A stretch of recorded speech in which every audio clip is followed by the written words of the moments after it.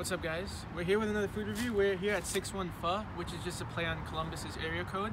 I have a chicken banh mi here as well as some uh, Thai tea. And yeah, if you guys don't know, banh mi is just like a Vietnamese sandwich. It has like a choice of meat with uh, carrots, like daikons, uh, sriracha, and cucumbers. So yeah, let's just try some of this.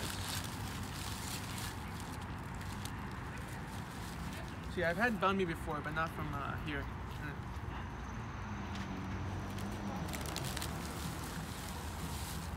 Pretty good. The mayo is really not that spicy.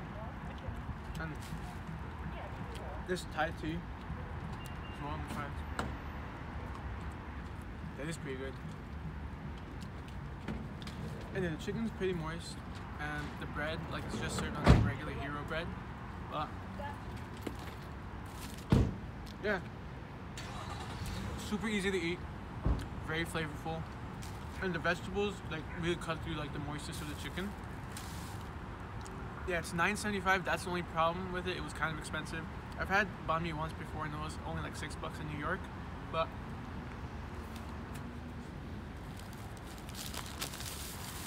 yeah, if you're looking for Vietnamese food in Columbus, I know there are a couple options. This is like the closest one to us. But I'd say it's pretty worth it. It's just a small sandwich, that's the only issue.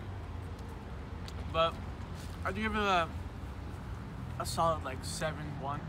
7-1. Yeah,